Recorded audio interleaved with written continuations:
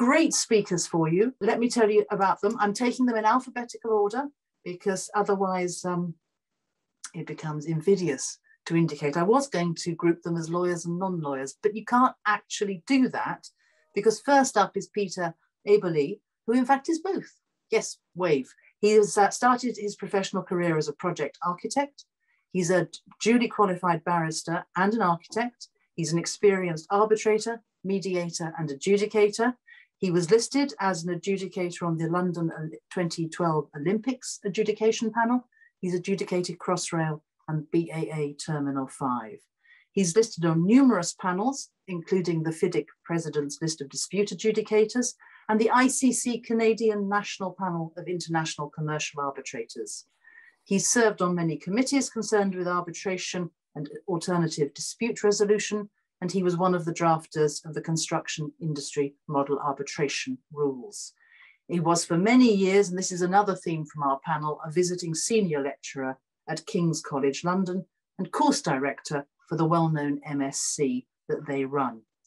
Now, our next speaker is the, uh, if I get my alphabetical order correctly, will be Matthew Finn, who is a senior managing director at Ankura based in London. Matthew, I've got you there, haven't I? Yes, with, with the branding nice and visible behind and some form of disaster, I think, on the other side. What's, what's on the other side of the... There should be London. okay. hopefully it's not a disaster. it's looking as if it was tipped. He's regularly appointed as an expert witness. So this is where we get Matthew with his expert witness hat on in the field of quantum damages in construction matters. And he does that in litigation, arbitration, and mediation. And he has been both cross-examined and also given evidence concurrently, hot tubbing. He's a certified civil and commercial mediator, construction adjudicator, and an international and domestic arbitrator. He's a panel adjudicator at the UK adjudication at UK adjudicators and regularly receives nomination through that panel. Next up, Sean Fishlock. Now he is a chartered constructor, chartered surveyor, chartered civil engineer, surveyor and project manager, Sean. Yeah, there he is. He's the managing director of the Berkeley Research Group's uh, construction group, and he's worked with government departments, major funders, property developers, contractors, and engineering construction companies. Now, he too gives expert evidence in commercial and technical disputes on delay, project management, and quantum. And he has worked with many interesting characters during his construction career, including Eddie the Eagle Edwards, a plasterer's labourer and our finest ski jump participant. Fred West of infamy, who was a bricklaying foreman. And Prince Charles. Now, he hasn't told me the capacity in which he met, met Prince Charles, but he has summed it up beautifully by saying that he's used to dealing with gentlemen, characters, and rogues, which has set him in good stead for dealing with arbitration, adjudication, and court proceedings. I will leave it to you to decide which of the panel is a character, a rogue, or a gentleman. Abdul Jinadu is the netting barrister, adjudicator, and arbitrator in Keating Chambers. He specializes in construction, engineering, and energy disputes, and domestic and international arbitration. And he has an extensive international practice specializing in Africa and the Middle East, and I suspect that he can run an arbitration in two languages as he's bilingual. Have you actually cross-examined in two languages, Abdul? No, I haven't. No, no, not not yet. Not yet. No, but it will it will soon come. I'm always in awe of people. I can barely do it in English, and the thought of being able to do it in another language as well would be extraordinary. Currently ranked in the Legal 500 Middle East rankings and Chambers and Partners global rankings chapter author as well of various publications, including Keating on construction contracts, Keating on marine engineering, and Keating on NEC contracts. Now, what you need to know about him, though, and this puts him into, I think, into a completely special category, is that as a teenager, he learnt the entire dialogue to The Empire Strikes Back. You just, you just got to admire him. Um, Daniel Miles is a, is a chartered, Daniel, where are you? Yep, got you. Is a chartered quantity surveyor by training and in practice working on large scale live projects. He too, for the past 15 years, has been a testifying expert witness on quantum issues in mediation, adjudication, arbitration, and litigation. Uh, he also acts as a mediator.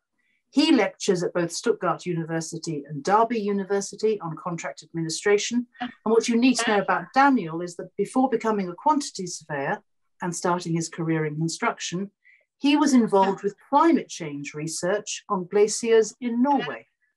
Now, that has got to be a job with prospects now. Finally, and bringing a true civil law German perspective to our work is Robert Werth, a civil engineer by training. He was a principal engineer and in company management. Since 2008, he's been a full-time dispute resolution practitioner, including as an arbitrator, adjudicator, and dispute board member. He's a fellow of the Chartered Institute of Arbitrators, and he too, like Peter, is on the FIDIC president's list, this one of the approved dispute adjudicators. He's listed on a number of panels, including the joint list of German Society for Building Law and the German Concrete and Construction Technology list. As an arbitrator, he's listed by the German Institute of Arbitrators and the German Maritime Association of Arbitrators. He's a FIDIC accredited international trainer, and he's a member of FIDIC's Task Group 8 updating one of their contracts at the moment. He's the first certified adjudicator in Germany, and he's the first publicly appointed and sworn expert for construction price and settlement in structural and civil engineering FIDIC conditions, which is a synonym for international contracts. Now I'm quoting him, these are his words, not mine. Neither German construction law nor German authorities are well known for their flexibility. So it took him seven years to provide sufficient proof that international contract elements are widely used in projects under German law, and therefore there was a public interest, and therefore he should get his certification. That's my panel, a very broad range of experience, a great deal of perspectives. We very much want this to be a dialogue, so please, if you could engage with us through the Q&A box, I've got it open and, and I'm going to keep it open and we're going to try and take the questions as we go. I'm going to start though with the very first place to start. Our title is do is experts discharge their duties to the tribunal? Well, do they? And what are those duties? Let's try and make sense of that. And Matthew, I think we go over to you for your thoughts on that. Yeah, that's great. Thank you, Mary. Um, yeah, I mean, starting obviously with the, the key reason why an expert is appointed is obviously around independence and um, ensuring that they're giving independence views throughout. And I think, you know, first and foremost, that's obviously the, one of the most important, well, the most important thing that an expert's obviously there to do is to look at everything independently. But I, I think certainly those duties go wider um, than independence in the sense of that it's, it's also around um, not opining on, on areas which are outside of their expertise and, and not giving um, you know, opinions into matters that they're not, then they're not aware of or, or, or shouldn't really be opining on, um, particularly around issues such as legal, if they're not legally qualified. Um, you know, they shouldn't really be telling the decision maker um, the law, particularly when they're the ones that are appointed to, to make that decision. Um, also, as well, articulating their opinions to the point of where there's significant weight behind their um, opinions and, and, and, how they get to those positions, but also making sure that those uh, opinions are, are articulated to everybody that they can understand how they reach those particular opinions, even if other people don't necessarily agree with what they uh, where they get to. And I think really then that gives the benefit to a decision maker um, and not, not also just necessarily to a decision maker in any sort of dispute resolution forum, but also in the early stages to a client um, when they're trying to make decisions around progressing a dispute to a particular forum. Um, and that early advice from an expert can often uh, weigh into whether it actually progresses all the way to a formal dispute setting or whether um, there's an appetite to perhaps settle early um, or to, to certainly try and reach maybe a negotiation based outside of dispute resolution. anyone else want to identify any other duties that they feel an expert ought to be performing, whether it is to the tribunal or to those who are paying? No, it's. Um, I would. Yeah, Abdul. Yeah, go on. Yeah, so I, I would suggest, I mean, in addition to the points that um, Matthew has so eloquently laid out, I think there is a um, an obligation um, for the expert think, to be truthful and honest with his um, employers. Um, I think there is, we, one very often finds himself in a position where experts are under pressure to take a particular line or to um, uh, not to tell, you know, the, the, the, the, the, the, the instructing solicitors or, or ultimate client know, the true facts of the position. So I'll suggest, I mean, that, that, that, that's an additional obligation that I'll suggest that, um, that uh, an, an expert would have. Yes, Peter. I just uh, would uh, like people to think that the, the, duty that an expert owes may change over time. Insofar as, uh, in my experience, when I acted more as counsel, uh, often one had an expert involved at a quite early stage in deciding whether or not there was a case at all, uh, and then obviously in assisting in putting that case together in formal pleadings, etc. Uh, and then suddenly, and therefore at that point, the expert obviously has a duty uh, to give fair and impartial advice to his client and indeed to his counsel, uh, because there's no point in running a case that's hopeless. And certainly it's sometimes useful to hear, in fact, more useful to hear about the warts in one's case than all the good points, because you'd be pretty sure at the end of the day it'll be the warts that emerge. And, and uh, but anyway, uh, the problem with that is that, of course, subsequently, if the matter proceeds, the expert will suddenly turn into an expert before the court and will have duties uh, to the tribunal. Uh, and and in, in various jurisdictions, particularly in this jurisdiction, England and Wales, those duties are, are, are seriously regulated by the rules of court. And uh, the point I would simply ask uh, um, those who act as expert is there not a degree of schizophrenia between owing duties to the tribunal at the end of the day when they produce a report as evidence and the various uh, duties and discussions they have with the client at earlier stages and indeed during the course of the proceedings itself, because certainly sometimes during the course of cross-examination, one wishes to talk to one's expert uh, outside the courtroom in order to establish what lines of cross-examination might work, where the weaknesses are on the other side, where the strengths are, and to, to assist with cross-examination. And those huge slew of range of duties are not wholly compatible with each other, uh, particularly when the court seems to require the expert to divvy up all the contacts they've had with their client. And I simply do not know how that puts together. Though I do remember years ago being told that one definition of an expert was a squirt under pressure. And I can certainly sympathize with that view. And I'd like to hear from the experts about how they, how they square that circle uh, and the schizophrenia that I see being involved. Well, there we are, experts. Do you feel schizophrenic? Who's, who's going to pick up that, that that gauntlet that was thrown down. Okay. Go on, um, Dan. Go on, Dan. You go first. I think I was going to say that in terms of that sort of schizophrenic kind of position you find yourself in, um, at the last UK conference, um, it sadly wasn't me that said this, but I thought it was particularly excellent quote, which is the definition of true independence is if you give the same answer in, irrespective of which side that you happen to be appointed by. So taking that as the starting point, when it comes to identifying the warts um, in a party's case, that that is effectively you very early on in the process looking to narrow those issues and identify the issues with, with, within your client's case that's that is ultimately providing a service to the tribunal. It is not trying to gloss over these problems. It's identifying the problems and making sure that they are addressed early on in the process.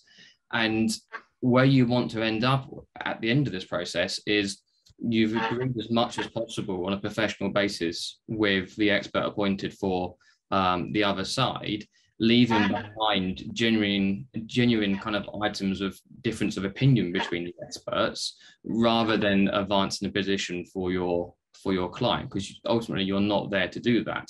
And even when you assist when you're assisting counsel with preparation of cross examination, you're effectively identifying um, uh, within your opinion the problems with the um, uh, analysis and the assessments presented from um, your colleague appointed for the other side. So whilst it can sometimes leave you in a comfortable position, I don't think it's necessarily inherently schizophrenic, although it can often lead to uh, moments of uncomfortable discussion. uncomfortable moments of uncomfortable discussion. I think that's fantastic phrase. Um, Sean, your hand was up. What was it you wanted to say? Uh, so I, I, mean, I recently um, submitted a first stage report to a client who. Uh, now, is that me or is that, in, is that, uh, is that Sean? side of my report. Is he, That's Sean. He's distorting. I'm just yeah. I, I, can I can see that. Yeah. Um, hopefully, I should be okay again now. Yes, um, you're much better now. Okay, so uh, so I, I recently had a, a, a, first stage report I submitted to uh, counsel and client team who track changed on the side of my report.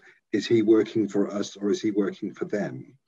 And I took that as being um, absolute recognition of that dilemma insofar as uh, I was as brutal with their position as I was or would be with an opposing position, did I not see the merits of the particular items and, and case?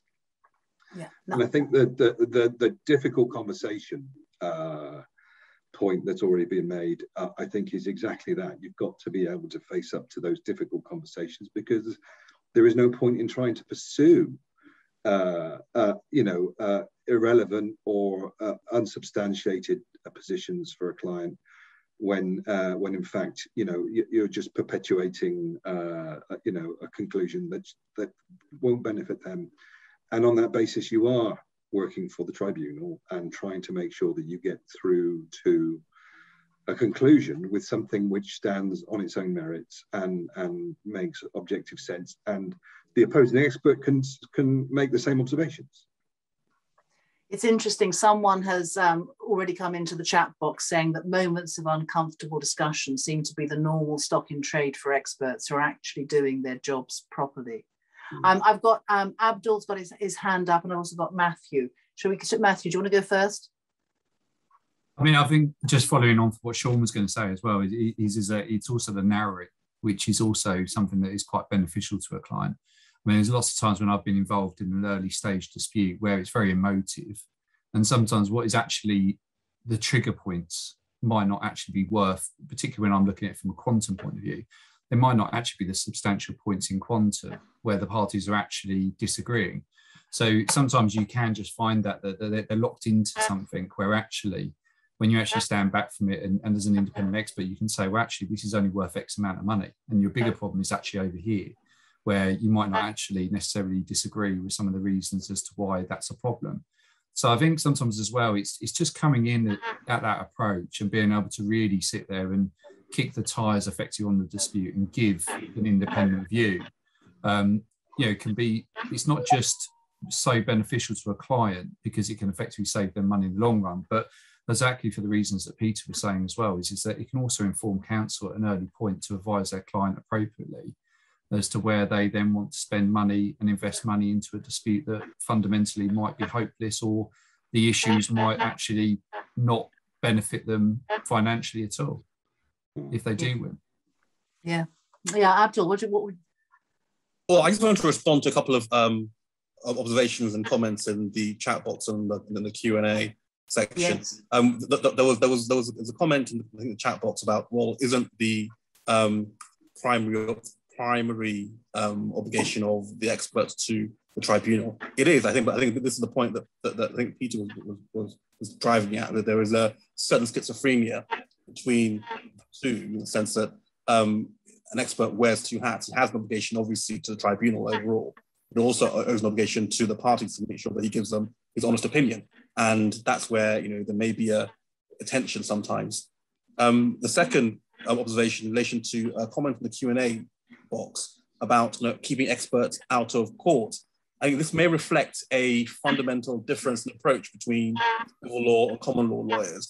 uh, in the sense that like, civil law generally doesn't put much stock in in, in cross examination, whereas us common law lawyers really are very um, keen to have um, cross examination. So um, I think it, it, it's unlikely that you're going to get a, a common law lawyer who's going to agree to have experts but not have them cross examined. Yeah, no, definitely. Um, can I ask, uh, and please, audience, can you stick everything? I will monitor both, but can you put it into the Q and A box? I think so that we can all be monitoring that as the primary source of questions. Who's actually acted as um, a, a clean or has been appointed knowing that they've got the role of a clean or a dirty expert? Has anyone actually had the experience of working in tandem in that way? Now that's interesting. I wonder if anybody in the in the Q and A or chat box has. Yes, yes, we've got one. Can you stick in your experiences about that because it's always held up as the way to manage this, but it seems to me to be phenomenally expensive, and I can see real practical issues in dealing with it. So I'd be interested in, in sharing the, the thoughts from the team. We'll keep to monitor, monitoring that. Can we move on to our next question? Whilst we're waiting for that to come through. Um, and Robert, I want to bring you in here because I want to talk about whether or not experts, do we feel as a panel that experts are discharging their duties to the tribunal around the globe? So we've defined what they are. What's our gut feel? Is it actually being discharged globally? I take it as read that every one of you is doing it. We're not getting involved in that. But what's your feel? Uh, and Robert, you'll have a, a, very different perspective on this, which in fact is probably worth starting with, because of course you come from a civil law background where experts are treated differently, or are they? Yeah, thank you, Marion. Uh, we're talking about expert, and that brings up the first question, who is an expert? Who shall act as an expert? And we have already recognized the, the term chartered quantity surveyor, which many people have in mind when they're talking about court expert related to construction contracts. Uh, but I have to say the term quantity surveyor doesn't really translate in every language. So for example, my language, we don't have a word for that. We don't have an education which is similar. So in order to become a court expert or an expert in construction fields, you have to apply in an auditing body, just presenting your extraordinary experience and you have to pass some kind of an assessment. That is exactly the, the experience I, I wanted to make some years ago when I was already acting as an adjudicator for quite a while. so I applied for becoming an expert in my jurisdiction. And in, in, this application, I filed in that the key experience I have is from international contracts. And the surprising answer I got was not, not that it's not different, uh, doesn't matter. Uh, the answer was that's not of interest, you are rejected.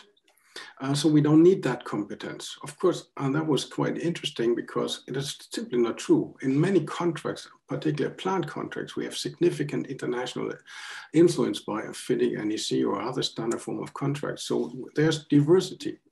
And as you said in the introduction, well, it took um, a few years and with the support of many leading construction lawyers and professor teaching uh, construction operation, we objected to this and we gave evidence there is a demand for international experts because in many con uh, contracts also in my country are recently written in English language. They have all this international attitude. And so after a period of time, we managed that the decision of my rejected application was revised, but now confirming that there are two different types of expert needed in this case. So still now, uh, the achievement was made that now with FIDIC contract conditions, as a synonym for international contracts, uh, a specialist field for experts, but still the entrance is under the standard procedure to qualify as an expert for a German construction standard form of contracts. So the two points uh, I want to make is here, uh, first of all, related to tribunals and parties, you have to select the right expert. And for experts, you have to be aware to what audience you are presenting.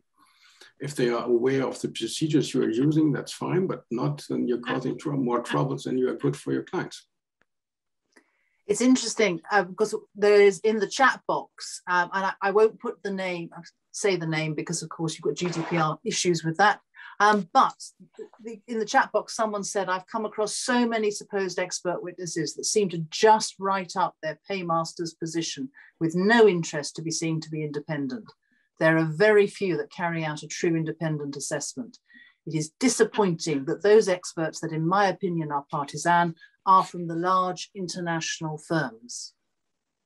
Discuss. Is that what we've come across? Do we feel that that's what's out there? Very Matthew. often, yes.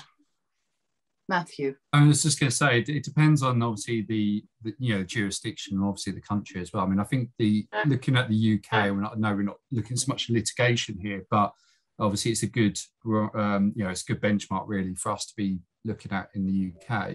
But the TCC, you know, have really, I mean, over the last five years, have been very, very critical of exactly that approach from experts.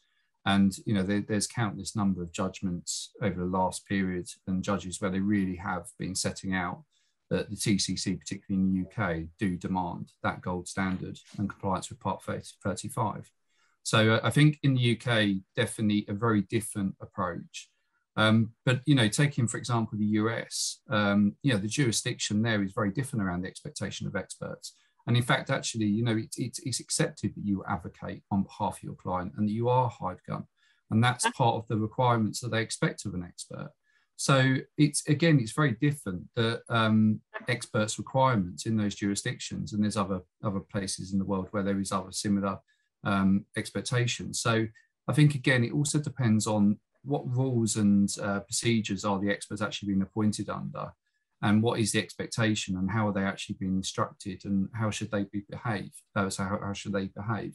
Um, really, to sort of analyse and to compare one expert to another could come down to a jurisdictional difference.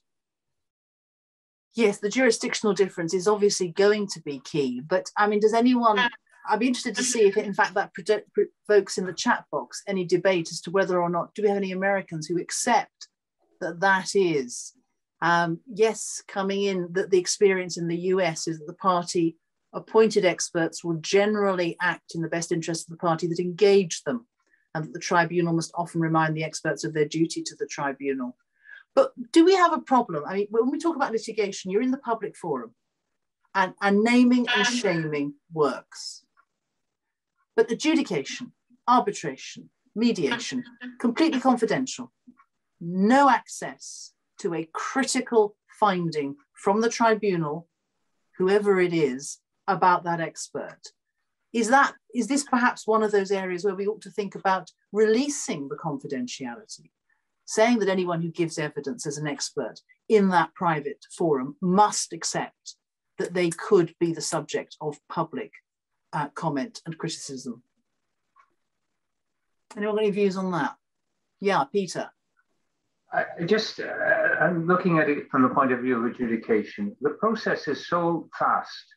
I have, I have seen expert reports which have, well, I'll describe the English bells and whistles attached to them. I've also seen expert reports saying, I am deliberately not attaching these bells and whistles to them uh, because this isn't a report for court process. And in some ways, the latter is clearly the more honest approach. Yes, of course, the claimant's experts can spend weeks, if not months, producing a report of the same standard that would be produced in court, though often, of course, they don't. What they produce is something which they call a provisional report. But the responding party doesn't have that luxury. In, in an English adjudication, even quite complicated ones running up to 10, 15 million pounds, which is sort of the topish level that I deal with, uh, you, you get perhaps three or four weeks if you're lucky. And in those circumstances, you cannot uh, produce an expert report which will look anything like the sort of thing that would be generated before a judge. And that's not the end of it, because then, of course, the poor guy on the other side gets two weeks to respond to the report, and they produce a response. And that response is basically responding to an expert report in the same manner that an advocate might respond to it, because that's the time scale. And, and the reality is that they often stray outside the field of their expertise. They make contractual points. Probably they wouldn't in court process, but the speed simply means they don't have time to think about it. They're simply responding. And, and to, to try and judge these poor people in the same sort of standard that you would uh, judge them if they were appearing in the luxury of a court case after many months, if not years, of preparing their material and having a chance to chew it over, I think is possibly a bit of a mistake. I think you just have to accept that in adjudication, you are getting people giving opinion evidence, and it's your job as a tribunal, usually without cross-examination, to simply decide uh, on the basis of what you've heard and your own background experience of dealing with these matters, whose uh, evidence on particular issues is more likely to be credible uh, and more likely to be consistent with everything else you've heard than the other guys. And the approach that a court might take of this guy has not produced the right formalities for his report or it's questionable in some way and therefore I reject it out, out of hand, I think doesn't play very well in adjudication. I, I do think you have to accept that the form of adjudication is rough and ready for everyone, and, and that includes experts. And, and for these poor people to be pilloried uh, in a public forum for what they generated in, in, in, the context of an adjudication at great speed, I think would be a mistake. I, I have certainly criticized uh, experts in the context of my decision, but that's a matter, private matter between them and the parties concerned. And one's very careful about doing it because, of course, they don't have a right of recourse and it's interesting. Someone's someone's made the point in the in the Q and A box that in fact all it will do is drive people away from be offering them their expert services, and that they're already in short supply. Dan, you've been trying to come in on this. What, uh, what's what's your view? Just one quick item on this, which is the fact that whilst you may act for um, the the parties and the clients fairly infrequently or only ever once in your career, there's a very small number of uh, law firms, particularly in the international arbitration market. And lawyers, no offense to any lawyers on the call, but as, as with any other field, move between firms with quite a lot of frequency. Um, and my experience of particularly of arbitration is that the arbitrators are are excellent with a lot of experience in the industry. And if you have an expert who puts forward a particularly partisan, biased, or unindependent view, it is generally called out during the cross-examination process and it is generally um, picked up, identified, and treated with less weight or with criticism by the arbitrator. Um, your career will be fairly short-lived if that happens with regards to the uh, way I would suggest the market works within the law firms um, irrespective of the confidentiality within the wider press. Um, so, yes, confidential, but only so far, I would suggest, regards to your evidence as an expert. And the comments come through in the chat box that adjudication was meant to be rough and ready. So, why is everyone surprised that it's sometimes not perfect? The uh, interesting suggestion coming forward wouldn't a standard practice of tribunal appointed experts put this debate to bed, essentially. Um, has anybody on this panel actually worked with a panel appointed when the tribunal has appointed its own expert? Peter, Peter, does it does it work? Well, not, not necessarily, because I mean, being blunt about it, there are various. An expert can have a range of legitimate opinions about something, and having one on each side means that you hopefully find the bit where the, the genuinely different opinions overlap. If you have a tribunal appointed expert, you only have his genuine opinion. And, and, and sometimes that opinion may uh, be at the range of what's acceptable, but there may be a lot of legitimate. The other thing I've found is managing these people can be extremely difficult. And I haven't done it for several years for this very reason.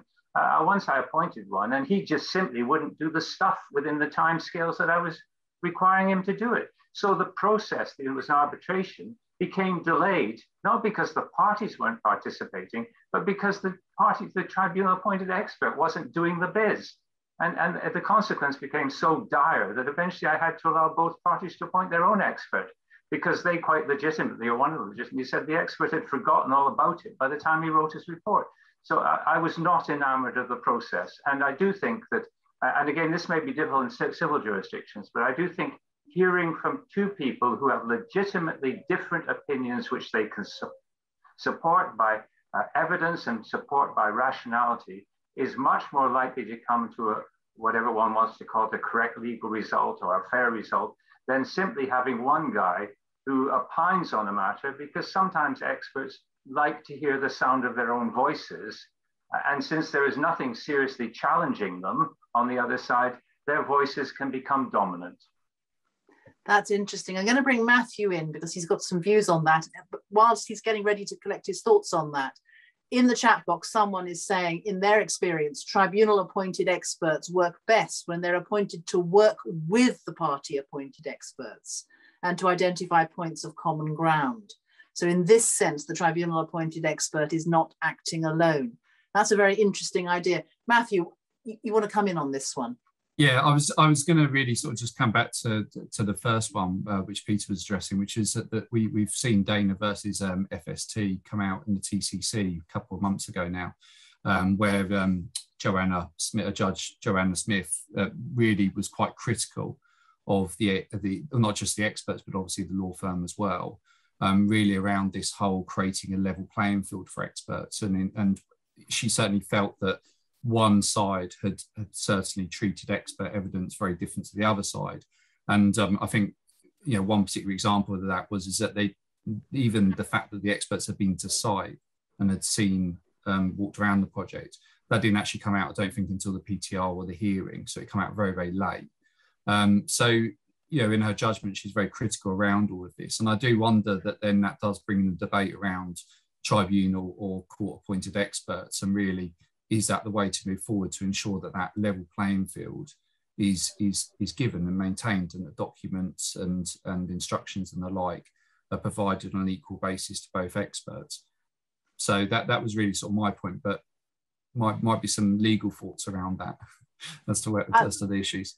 I'm going to bring abdul in um, in on that. And just to complicate the picture the question's been raised. What's your opinion of a single joint expert uh, the questioner says, I found that they can be partisan without recourse to another expert to challenge the single joint expert's opinion. I mean, with, yeah. yeah absolutely, yeah, absolutely. Yeah, I mean, I, I, think, yeah, with, with single joint experts, I mean, that in court cases in the UK, the parameters in which you can, which the court will be persuaded to appoint a single joint expert are, fa- are fairly limited, and that's really the only.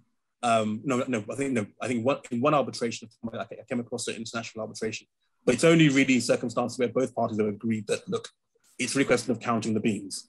Um, there isn't there isn't very much in dispute.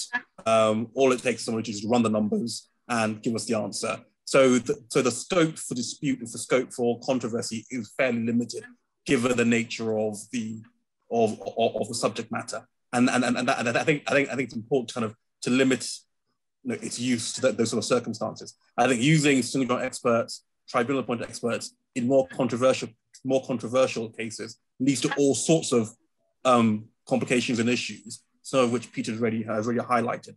And I think, and, and, and I think we can see that the fact that the lack of popularity, I think, is indicative of you know, the, the, problems that come along with, with, with that process.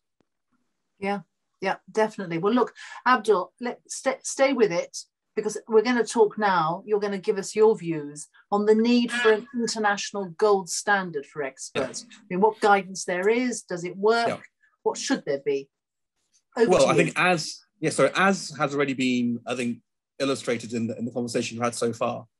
Um, there are differences in, in jurisdictions as to the approach that are expected that, that is expected from from experts. Um, as um, I think Matt's pointed out, and I think also in the in the chat box there have been comments to the effect that in the US there's a fairly very different expectation of uh, of the expert, and and that's just, it's not limited just to the US. In various jurisdictions around the world, um, there are different expectations as to you know what's expected of the expert, principally in relation to to whom the he owe the, du- owe the duty. Is he does he owe the duty to the tribunal or is it the parties? How much of a high gun can he be? And when you look at the international arbitration space, there's precious little in terms of guidance for you know, somebody coming in and wanting to be um, an expert. Um, the only real sort of comprehensive guidance is, is the Chartered Institute of Arbitrators um, protocol on party appointed experts. The IBA rules on taking evidence make some reference to expert evidence, but it's very limited. Otherwise, there's almost nothing else out there generally um, on, um, on uh, uh by, by, way of guidance internationally for people acting as experts. Now, you know, you, you, can, you ask, well, is there a need for um, a standard? Is there a need for a gold standard?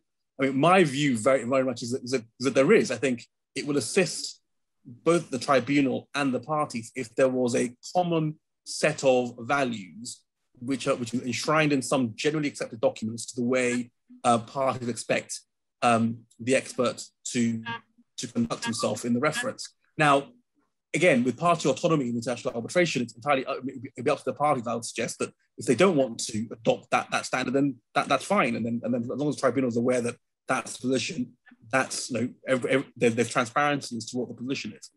But I think you know there would be um, uh, you know it, would be of great assistance to tribunals and to parties if um, there was something so if there was a, a, a more broadly developed, more broadly adopted um, set of rules as to how experts are expedite executives behave, something akin to the Chartered Institute um, Institute's um, I think it's actually it's a very good document.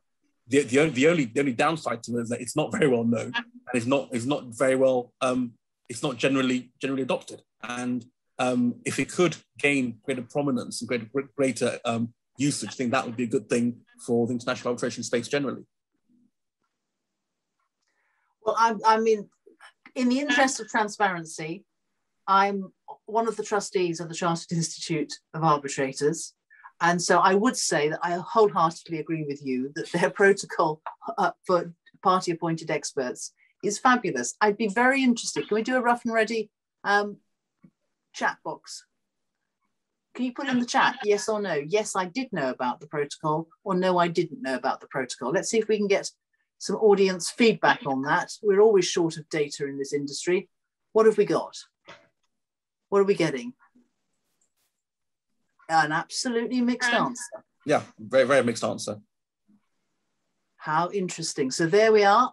If nothing else, we're going to out of arising out of this, we're going to take forward the promotion of that that was interesting. Anyone else got any views? Um, anyone where we should be going? Matthew. And the other thing I was also going to add as well is it depends on your profession. I mean, with the, the RICS, they have a very comprehensive um, guidance set of notes um, around expert experts, uh, sorry, surveyors acting as experts.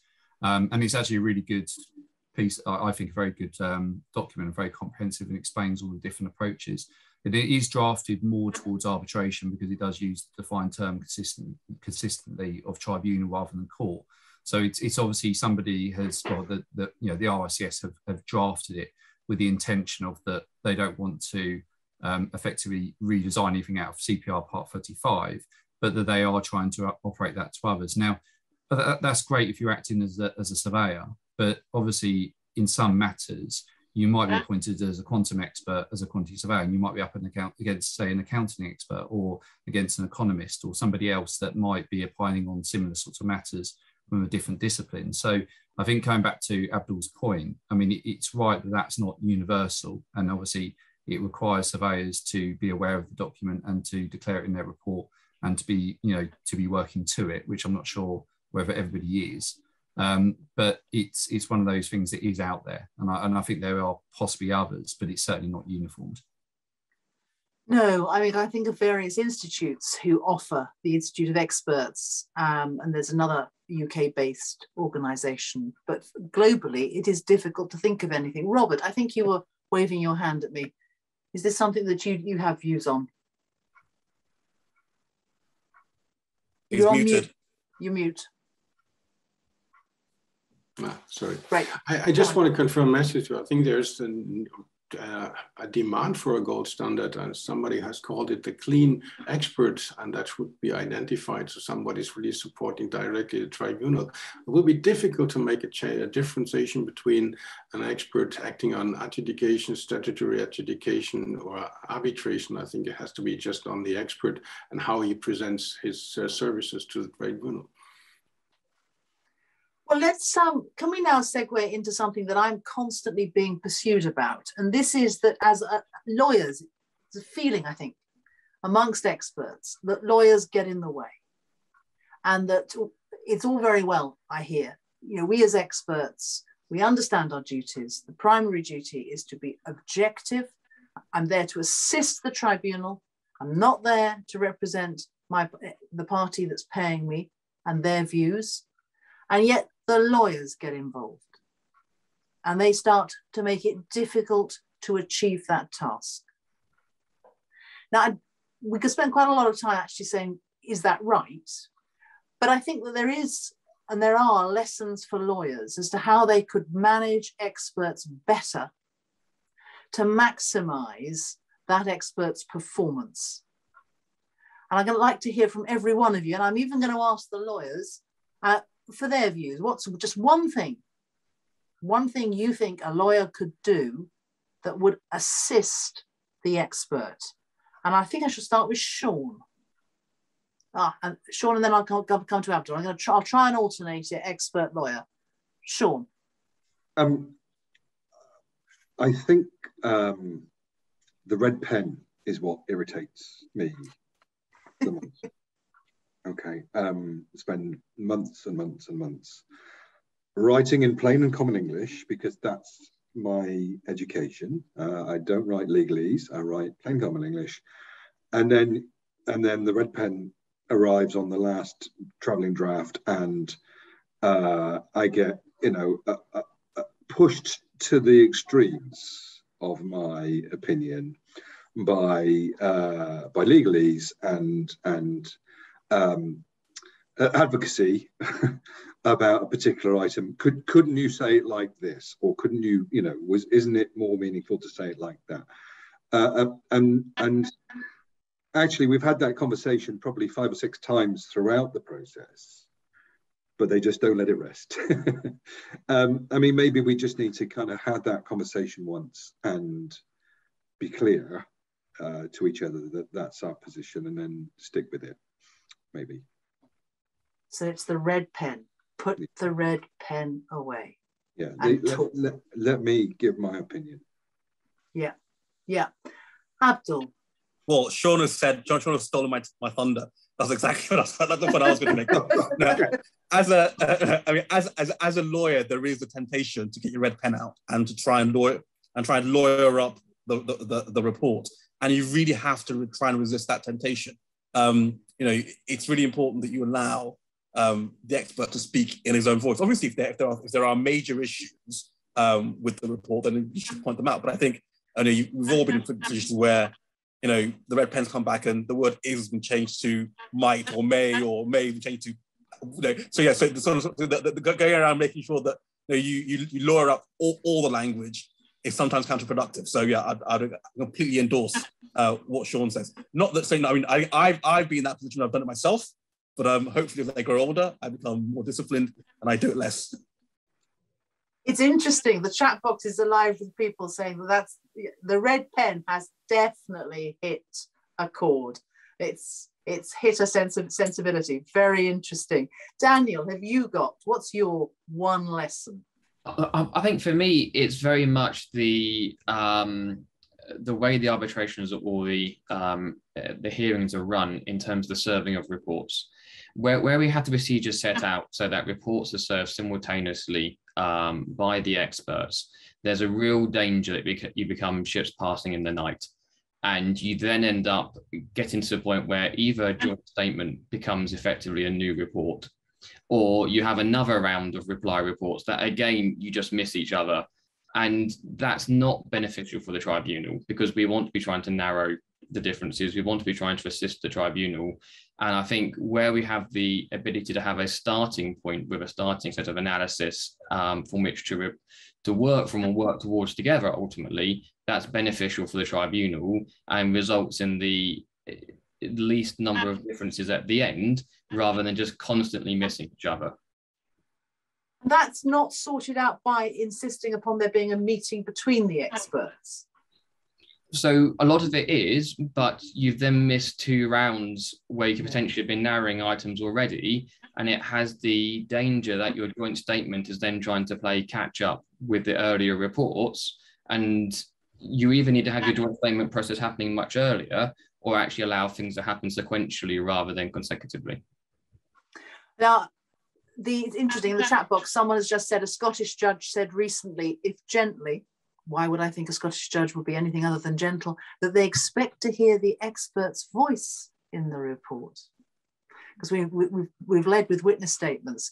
So we've got the red pen, we've got the um, direction to avoid those ships passing in the night, which is, I know for any tribunal is a nightmare as to where we go. And Peter, one thing.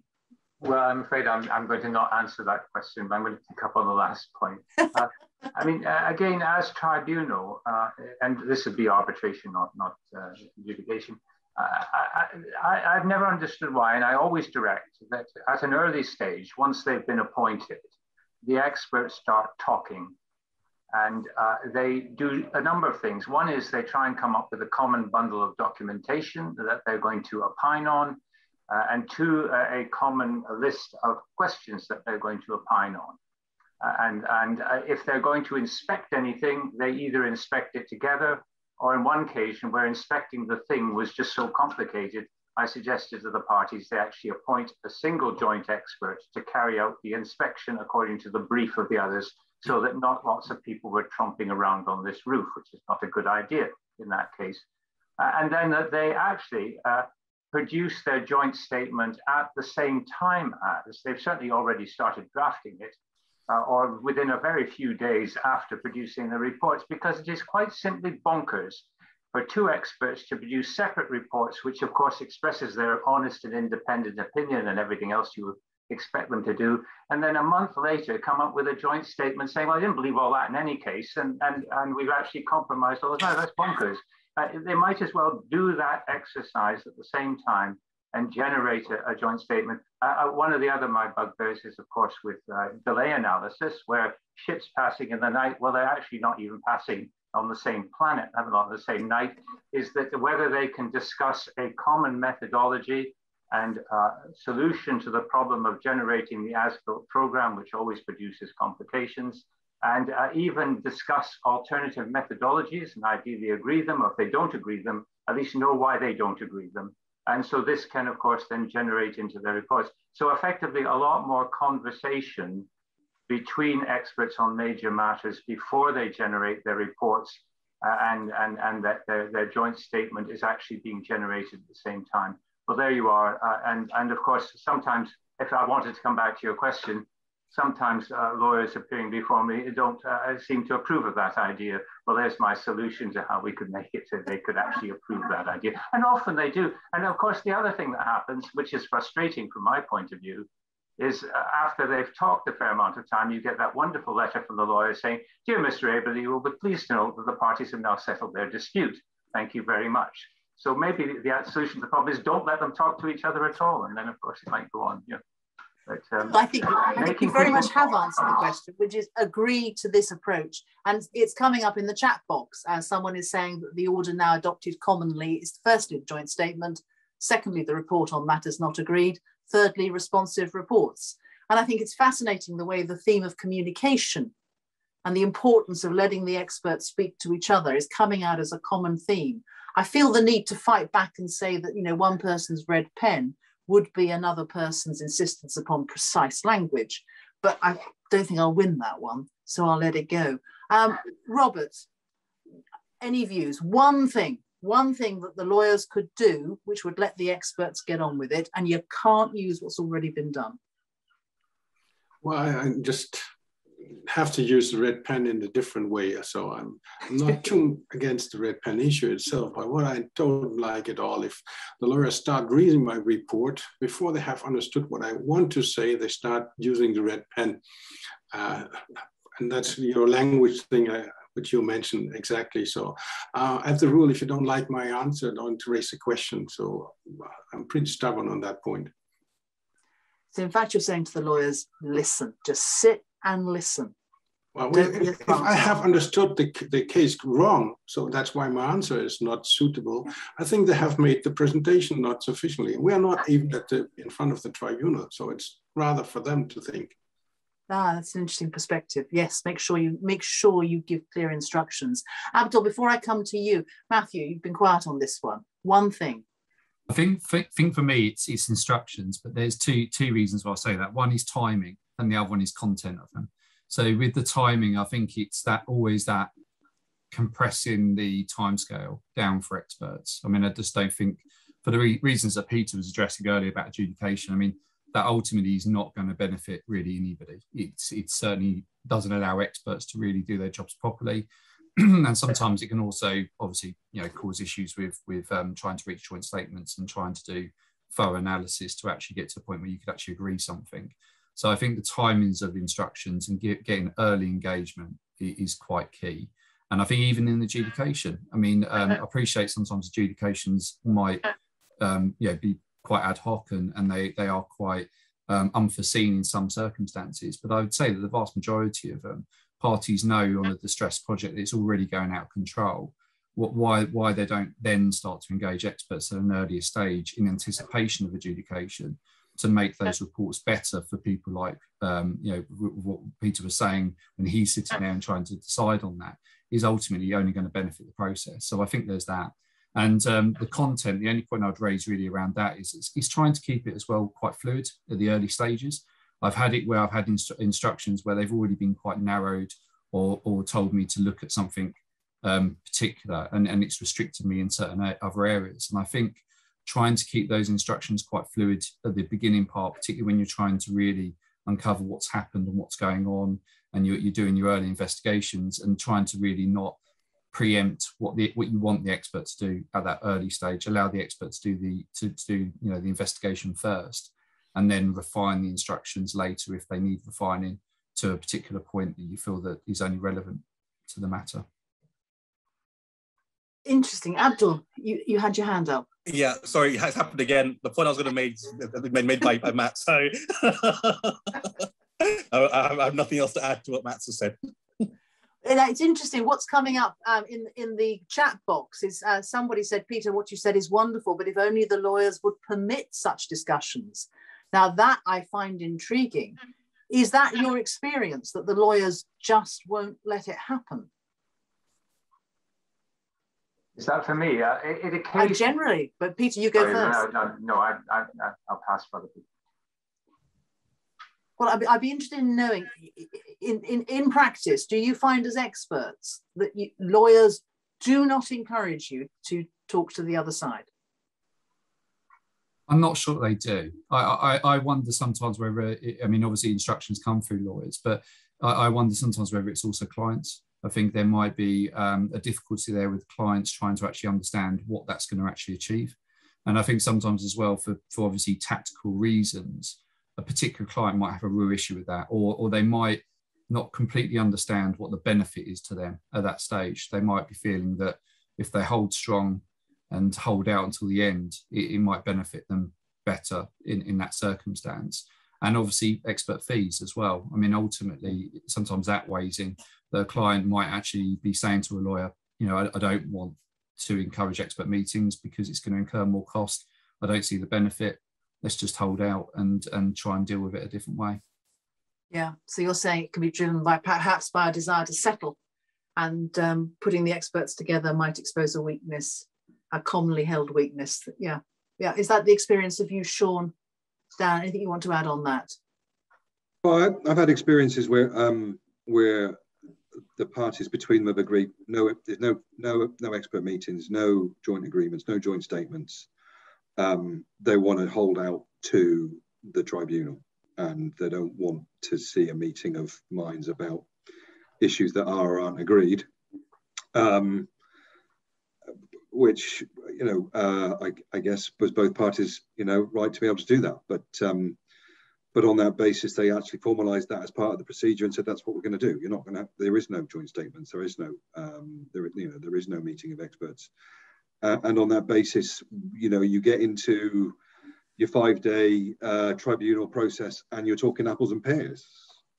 Um, you know, there's more to unpick, and more to clarify, and more to align, because of the disjointed process of you know, report, report, reply, and so you know, on that basis, it takes kind of longer But both party held, if you like, held firm on their positions up until the tribunal and let the tribunal decide for them. That's fascinating. I'm as you were saying that, I was wondering how would I react if I was faced with um, a, an agreed position between the parties that there will be no meetings. because I, I mean, frankly, I think my heart would sink uh, for all of the reasons that you, that you have outlined. How interesting. Have, is that just once, or have you come across that? Is, is, there a particular reason for it? Does it come out of a particular sector or from a particular area of the globe? Uh, Paris, ICC, um, once, uh, yeah. and a kind of UK US entity and a Portuguese entity. Um, yeah. Nothing unusual to, to about you know about the party's uh, power sector but just uh, the other side was pretty adamant, and and so both parties agreed that they were going to you know wait to the tribunal. Um, but but as I say, I mean, and then from watching, having been sort of in and out of the tribunal for a period of week, they spent a lot of time clarifying what each side's opinion were, uh, and the fact that there was a you know there was an apples and pears argument around a lot of the a lot of the issues interesting comment in the chat box. Uh, so it's obviously it's, it's not unique to you. In one arbitration, the lack of a joint expert meeting was justified to me by my instructing counsel on the basis that we were under common law adversarial rather than civil inquisitorial. ah, well, there we go. I think.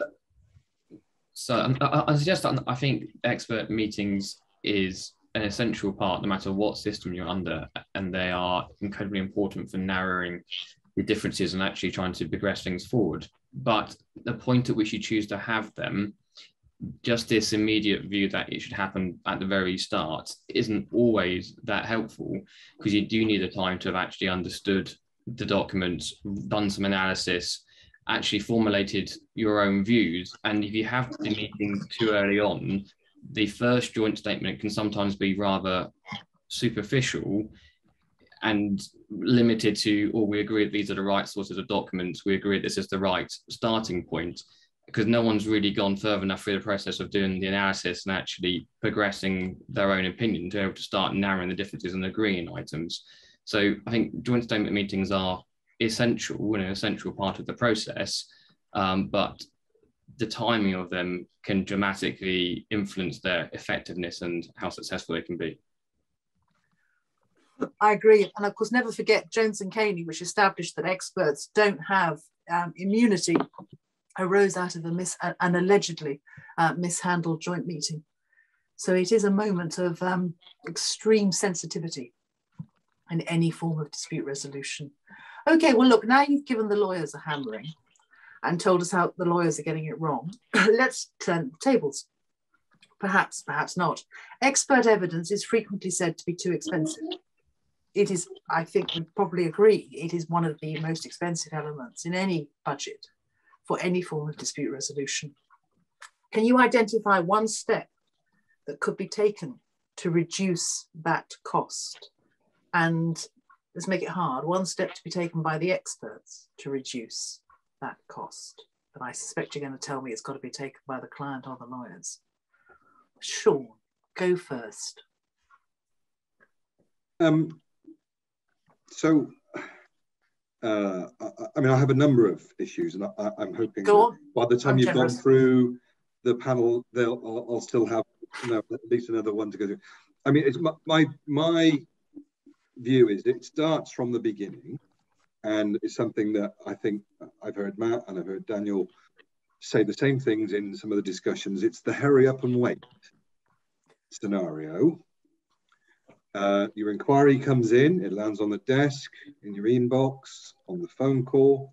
Uh, urgent matter, need a response, need your team, need your budget price, need your, you know, need a methodology.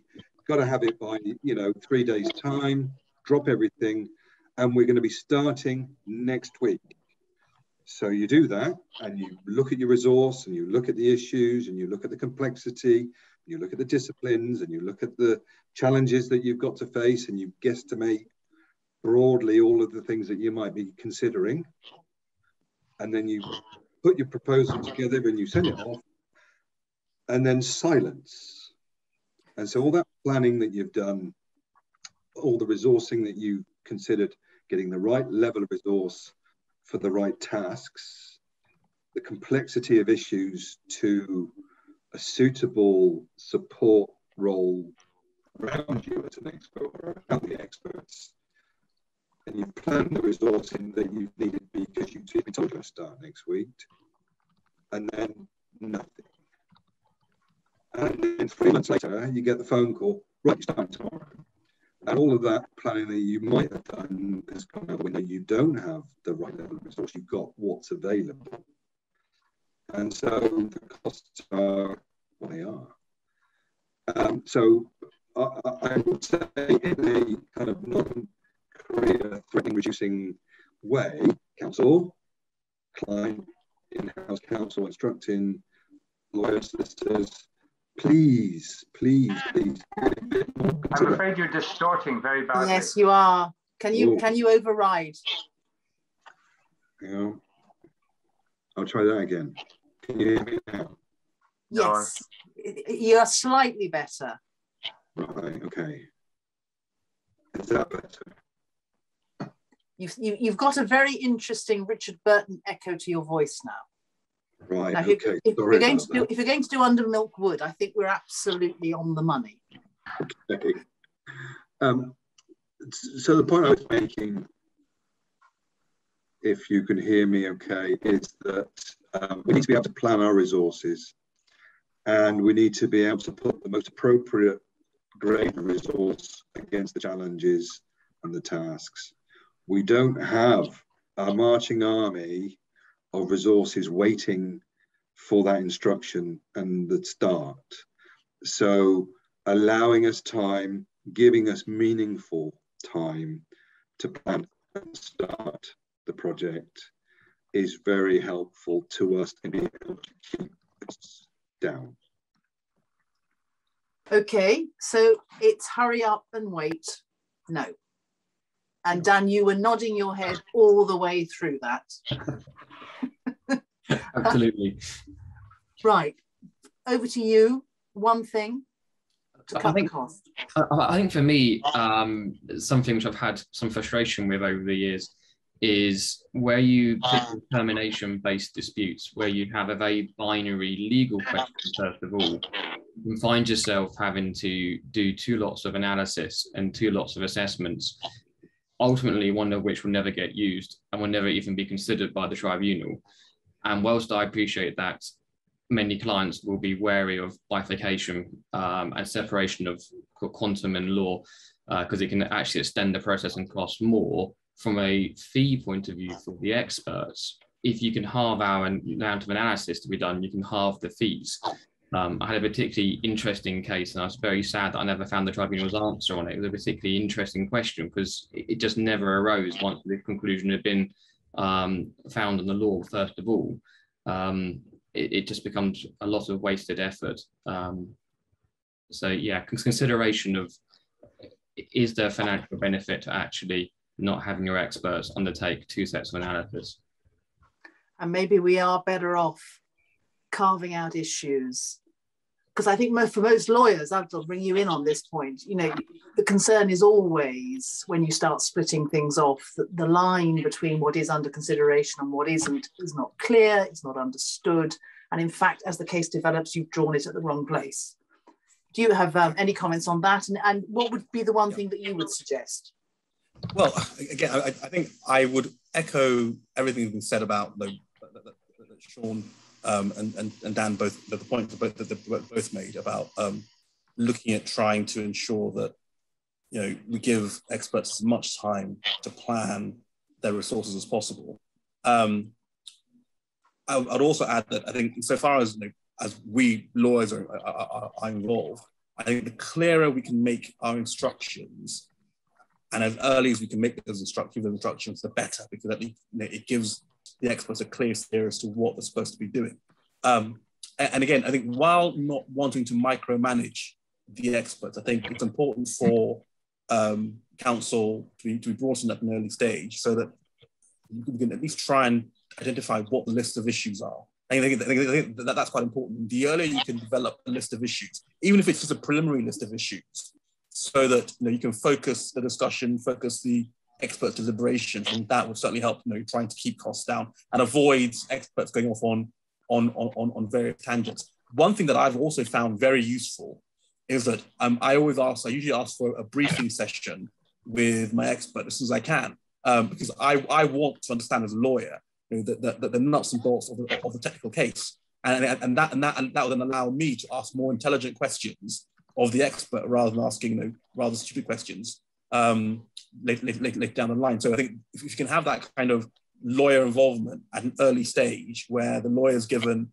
a briefing on the technical technical issues, that I found has also helped help to, um, to, to reduce costs.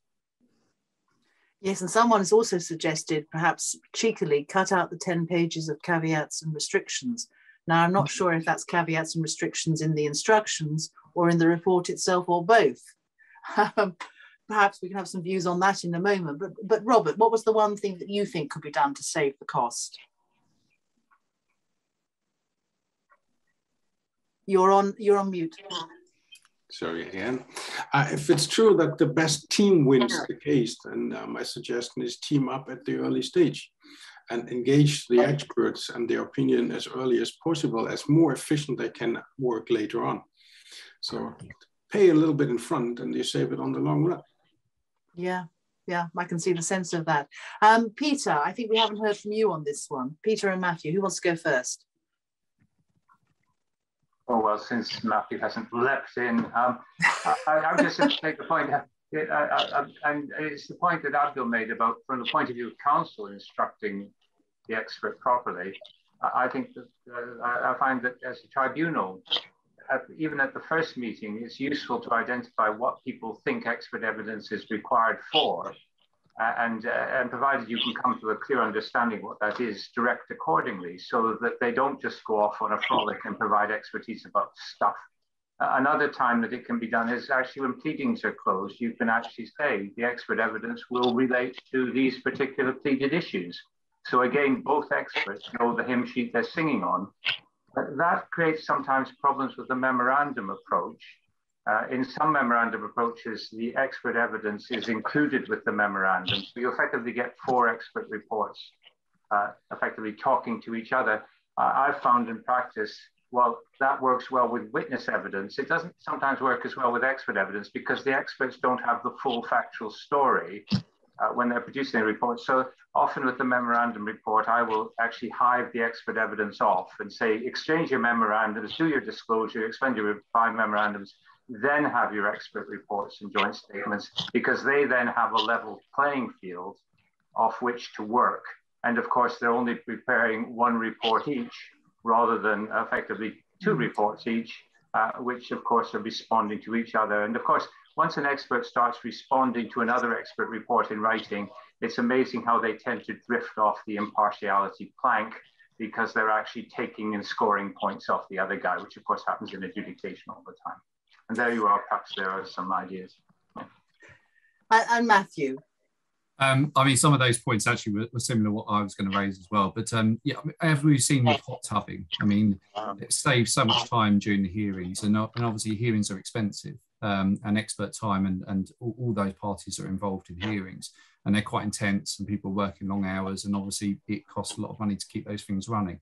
And I think with, with hot tubbing, we've seen expert evidence, you know, time in witness uh, experts in the box, that that becomes significantly reduced. Tribunals feel, and certainly the court did during the pilot scheme, um, that the judges mainly all agreed that it was saving time, it was getting to the crux of the issues, they were able to understand the case, they were able to understand if they chose one alternative to what that meant to other repercussions, such as quantum.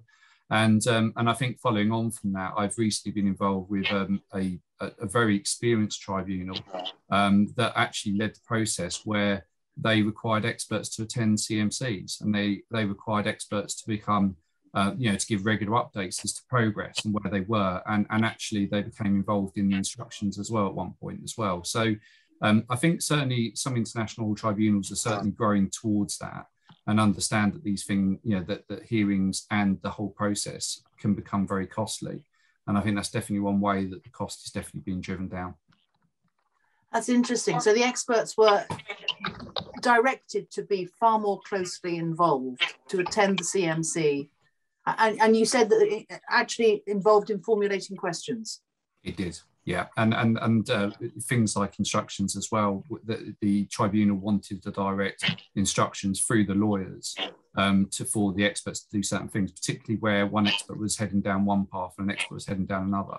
They wanted to effectively get rid of those constraints around instructions so that the experts could actually address the issues that the tribunal felt um, were key to the case. Yeah, we're coming back to those ships passing in the night again aren't we? Um, so comment in the chat box is coming up. The frustration for the expert is that is that a lawyer is not a construction expert and naturally asks questions. You then spend man hours educating, informing the lawyer about a construction process or what an event technically involves, and it means the lawyer is pushing up costs for all parties. Now, of course, I have some sympathy for the lawyer in that scenario,